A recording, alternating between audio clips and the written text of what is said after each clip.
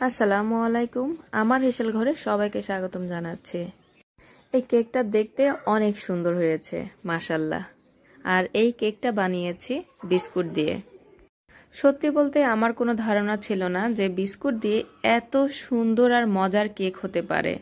এটা হচ্ছে Oreo chocolate cake. যেহেতু আমার হাতের কাছে ওরিওটা ছিল না বা পাইনি তাই ওরিওর মতো বাংলাদেশি সেরো দিয়েই কাজ চালিয়ে নিচ্ছি। এই বিস্কুটের প্যাকেটগুলোর দাম বিশ টাকা করে। তো এখানে আমি চারটা বিস্কুটের প্যাকেট নিয়েছি।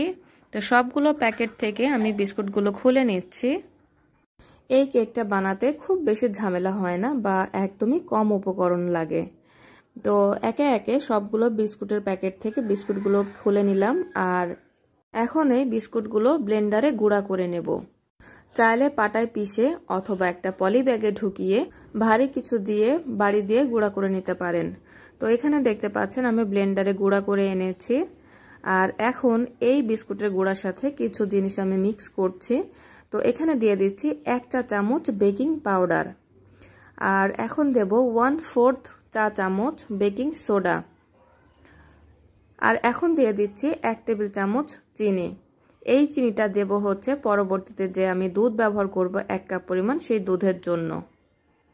আর ঘরে যদি বেকিং পাউডার বা বেকিং সোডা না থাকে, তাহলে দেওয়ার দরকার নেই, এমনিতেই কেক হবে। এখন এক কাপ লিকুইড দুধ দিয়ে দিচ্ছি মানে অল্প অল্প করে দিতে হবে আর এরকমভাবে মিক্স করতে হবে। একবারে দিলে যদি পাতলা হয়ে যায়, তাহলে কিন্তু ব্যাটারটা ভালো হবে না, তাই অল্প অল্প করে দিতে হবে আর এভাবে মিক্স করতে হবে। আর এভাবে অল্প অল্প করে দুধ দিয়ে নাড়তে নাড়তে যে চিনিটা দিয়েছি, সে চিনিটা কিন্তু ভালোভাবে গলে যাবে। আর সাথে ব্যাটারটাও খুব সুন্দর হবে। আর এখানে আমি চার প্যাকেট বিস্কুটের জন্য পুরো এক কাপ দুধ ব্যবহার করছি। আর এই দুধটা কিন্তু জাল করে ঠান্ডা করে নেওয়া মানে নর্মাল টেম্পারেচারের দুধ।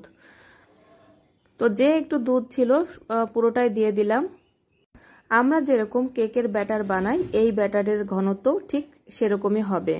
তো দেখতে পাচ্ছেন, কেকের ব্যাটার কিন্তু একদম রেডি আর এখন আমি একটু কাপটা দেখিয়ে দিচ্ছি। এই কাপটা কিন্তু পুরো আড়াইশো এম এর কাপ এই কাপের পুরো এক কাপ দুধ ব্যবহার করেছি। তো এখানে একটা মোল্ড নিয়েছি। মোল্ড মানে একটা টিফিন বক্সে আমি তেল ব্রাশ করে একটা কাগজ বসিয়ে দিয়েছি। কাগজের উপরেও তেল ব্রাশ করে দিয়েছি। এখন এই কেকের ব্যাটারটা ঢেলে দিচ্ছি। আর এই ব্যাটারের ঘনত্বটা আশা করি দেখে বুঝতে পারছেন। তো কেকের ব্যাটার দেওয়ার পরে ঠিক এইভাবে একটু বাড়ি দিয়ে নিতে হবে যেন এর মধ্যে এয়ার বাবলস বা এক্সট্রা বাতাস ঢুকে থাকলে সেটা সমান হয়ে যায়। এখন এখানে একটা ফ্রাই প্যান নিয়েছি আর ফ্রাই প্যানে আমি এই বক্সটা বসিয়ে দিলাম আর উপরে আমি কাচের ঢাকনা দিয়ে লাগিয়ে দিচ্ছি।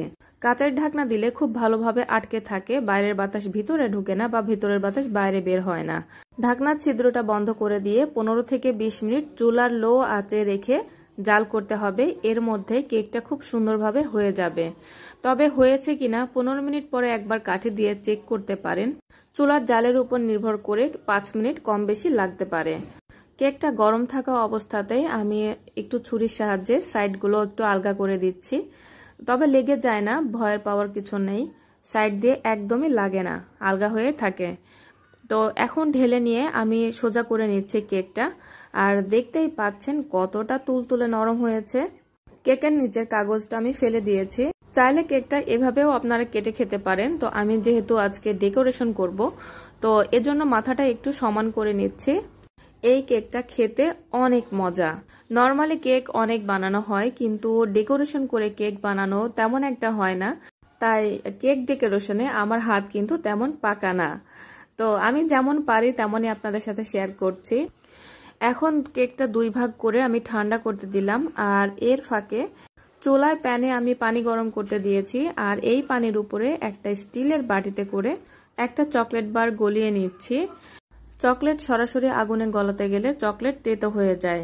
এভাবে ফুটিয়ে নেওয়া পানিতেই চকলেট গলিয়ে নিতে হবে। তো এর মধ্যেই কেকটা খুব ভালোভাবে ঠান্ডা হয়ে গেছে। আমি ফ্রিজে রেখে ঠান্ডা করিনি, জাস্ট রুম টেম্পারেচারে ঠান্ডা করে নিয়েছি। তো কেকের একটা ভাগে আমি বাটার ক্রিম লাগিয়ে দিচ্ছি।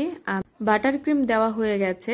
এখন কেকের আরেকটা ভাগ আমি উল্টিয়ে দিয়ে দিচ্ছি মানে উপরের ভাগটা নিচে দিয়ে দিলাম। যেহেতু নিচের ভাগটা সমান, তাই সমান ভাগটা আমি উপরে দিয়েছি। এখন কেকের উপরে গলানো চকলেট দিয়ে দিচ্ছি। এই কেকে কিন্তু আমি কোনো সুগার সিরাপ ব্যবহার করিনি। তো চাইলে কিন্তু আপনারা সুগার সিরাপ দিয়ে ভিজিয়ে নিতে পারেন।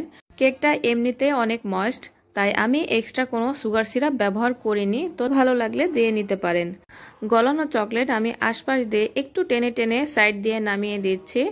কেকের সাইড বেয়ে যে চকলেটগুলো গড়িয়ে পড়তে থাকে তো এই জিনিসটা দেখতে কিন্তু বেশ ভালো লাগে। এজন্য আমি একটু টেনে টেনে দিচ্ছি যেন কেকের গা বেয়ে কিছুটা চকলেট পড়ে যায়। গ্রেটার দিয়ে গ্রেট করে নেওয়া কিছু চকলেটের গুঁড়ো আমি কেকের উপর দিয়ে দিয়ে দিচ্ছি। আসলে সাজানোটা সম্পূর্ণই নিজের কাছে, আপনাদের যেভাবে খুশি সেভাবে সাজিয়ে নিতে পারেন।